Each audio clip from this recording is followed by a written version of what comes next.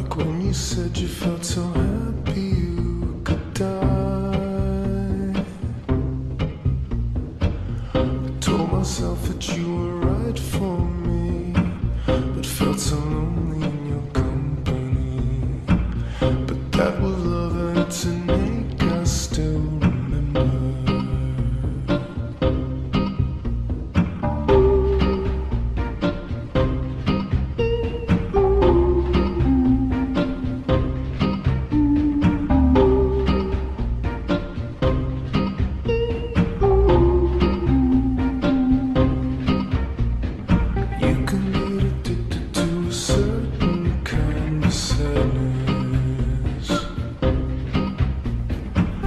Like resignation to the end, always the end.